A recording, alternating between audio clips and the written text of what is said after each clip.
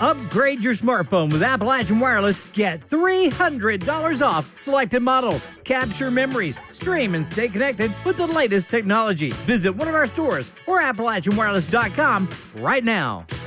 The town of Matewan will be holding the annual Magnolia Fair Festival starting Wednesday, June 21st and running until Saturday, June 24th. Magnolia Fair has been going on for 50 plus years. There was a break in the schedule for approximately, I'm going to say, five to eight years. Um, after COVID, the mayor at that time and town council um, was able to get the funding back for the fair. The festival will host many exciting attractions ranging from carnival rides to concerts and even a petting zoo. The festival will conclude on Saturday evening with a fireworks show.